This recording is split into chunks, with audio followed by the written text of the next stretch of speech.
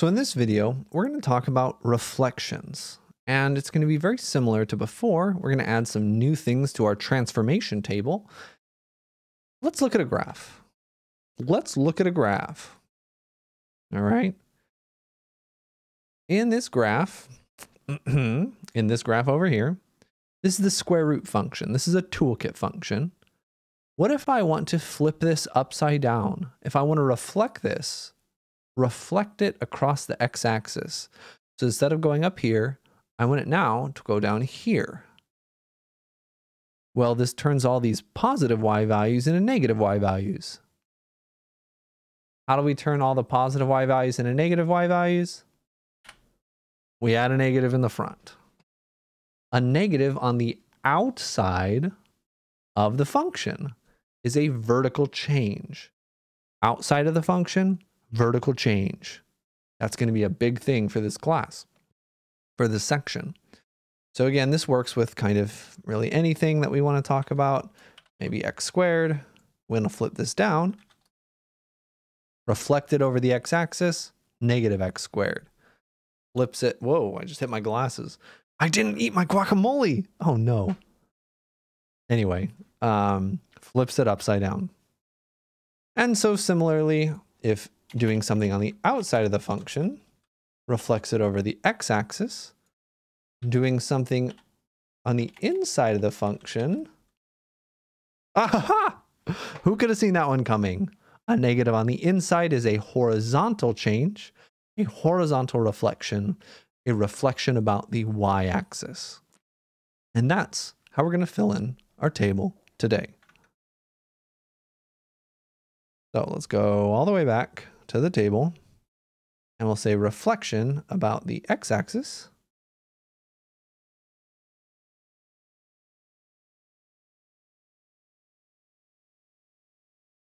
And we'll talk about reflections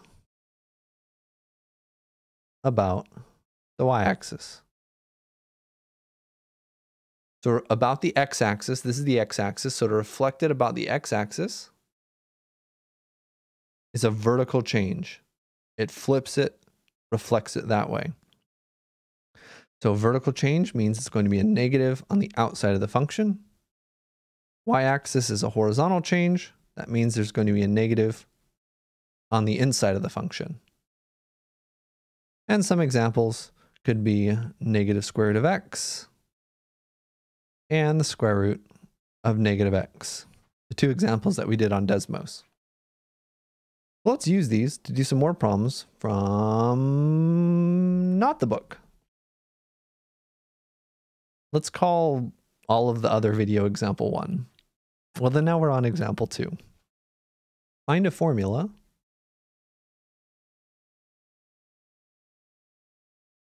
for the following functions. All right, in this first function, let's, uh, oh, I'm going to regret this, I think. Go back to here, and I'm going to give you a graph.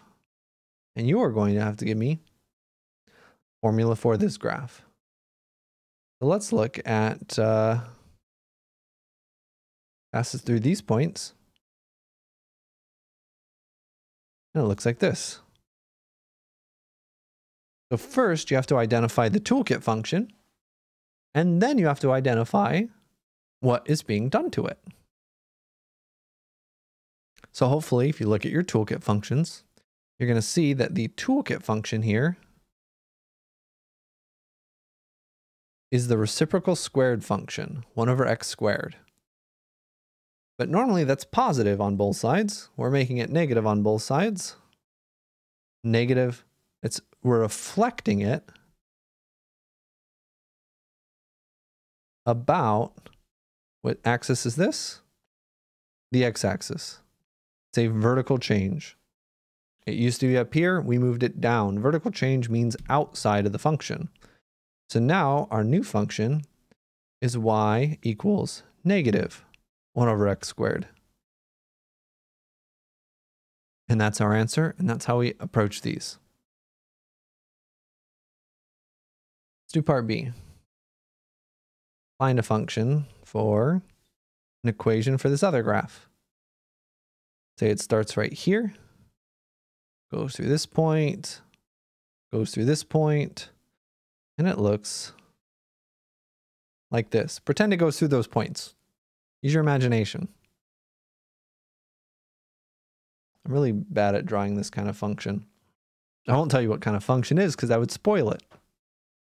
So pause the video, look through your notes, try to find what toolkit function this is.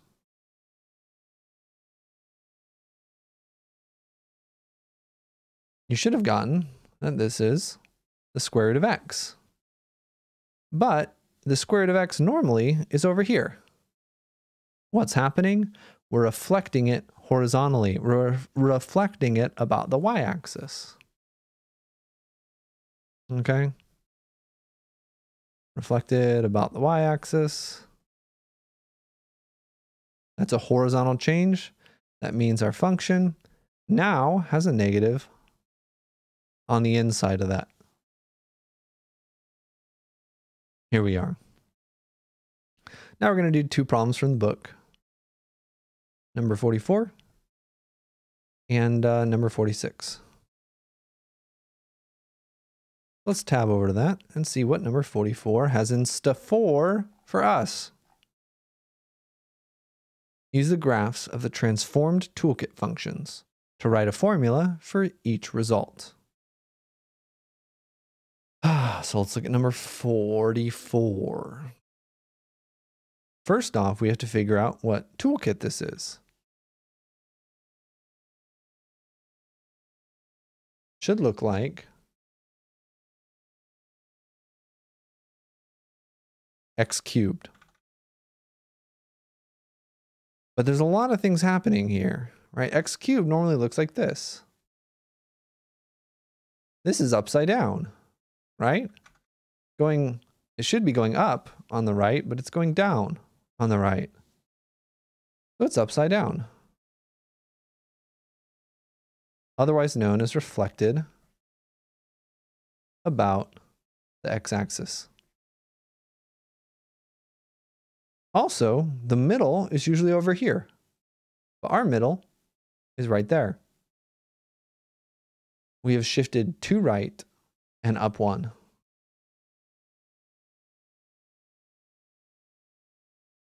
So let's do these things one at a time.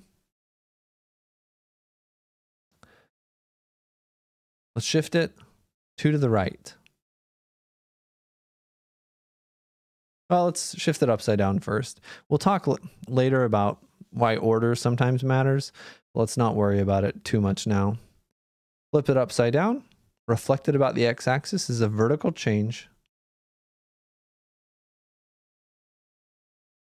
So the negative goes on the outside. And then we need to move it, right? This is the first part. And we, it, you could do it all at once, but doing it in steps like this is more helpful, right? So this is, this is the first part.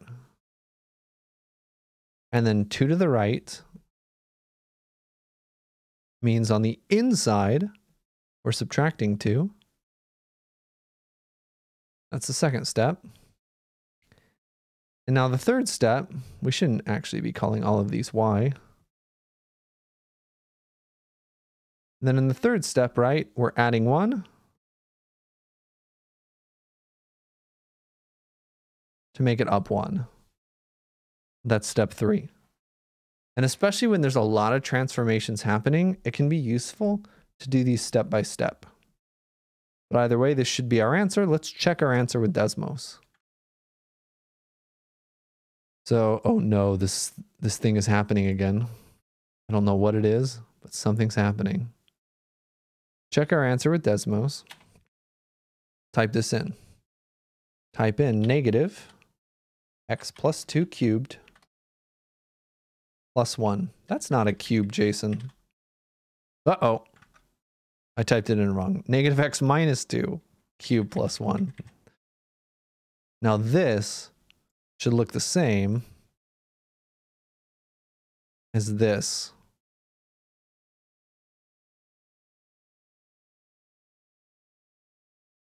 Are these the same? They have a different scale. But if you actually compare the points, they should be the same. And we're good to go. All right, and so that's reflections. Flipping things upside down, flipping things left to right, more formally known as reflecting about either the x or the y axis. And now you can do the homework and let me know if you have questions, and I will eat some guacamole.